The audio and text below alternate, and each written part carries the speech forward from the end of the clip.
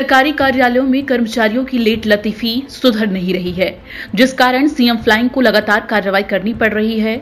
इसी कड़ी में मंगलवार को सीएम फ्लाइंग ने रेवाड़ी शहर के नागरिक अस्पताल में छापेमारी कर दी। सीएम फ्लाइंग की टीम का नेतृत्व डीएसपी राजेश कुमार चेची ने खुद किया। अस्पताल में बड़ी संख्या में डॉक्टर और स्टाफ गैर हाजिर मिले। टीम की कार्रवाई से अस्पताल में हड़कम मच गया। सीएम फ्लाइंग के औचक निरीक्षण के दौरान कुल पाँच डॉक्टर समेत पच्चीस कर्मचारी गैर हाजिर मिले, जिसके चलते टीम ने हाजिरी रजिस्टर समेत अन्य रिकॉर्ड को कब्जे में लेकर रिपोर्ट बनाकर उच्च अधिकारियों को भेज दी है। सीएम फ्लाइंग की अस्पताल में छापेमारी की सूचना के बाद हड़कम मच गया। छापेमारी के बाद स्टाफ के कर्मचारियों के आने का सिलसिला जारी रहा, लेकिन उन्हें गैर हाजिर ही माना गया है।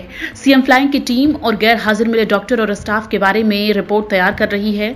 आगामी कार्रवाई की संतुति करते हुए रिपोर्ट को चंडीगढ़ मुख्यालय भेजा जाएगा। मुख्यमंत्री रेवाड़ी की टीम ने सिविल हॉस्पिटल है रेवाड़ी। यहाँ हाजिरी वाला जो हम औचक निरीक्षण करते हैं, वो आज चेक किया था।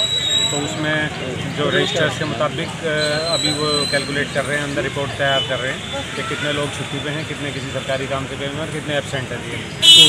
तो बाकी ज़्यादातर ठीक पाया गया है। बाकी जो बाकी रिपोर्ट आएगी, वो मैं आपको एबसेंट भी है कुछ, sir?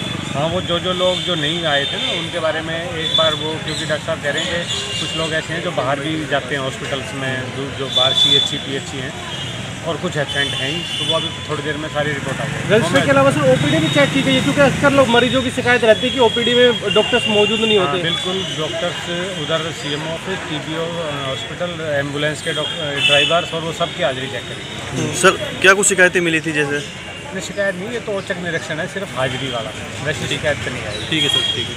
Thank you thank you thank you thank you आपको बता दें कि कुछ दिन पहले सीएम फ्लैंग की टीम ने तहसील रेवाड़ी में भी छापेमारी की थी। तहसील में 26 में से 13 कर्मचारी गैर हाजिर मिले थे। इससे पहले क्षेत्रीय परिवहन प्राधिकरण के कार्यालय में छापेमारी के दौरान आठ कर्मचारी बिना किसी सूचना के गैर हाजिर मिले थे। सीएम फ्लैंग की टीम लगातार सरकारी विभागों में लेट लतीफी को लेकर कार्रवाई कर रही है। इसके बावजूद भी सरकारी कार्यालयों में स्थिति में कोई सुधार नहीं हो रहा है। सत्य खबर के लिए रेवाड़ी से राजेश शर्मा की रिपोर्ट। सत्य खबर सत्य सटीक बेबाक।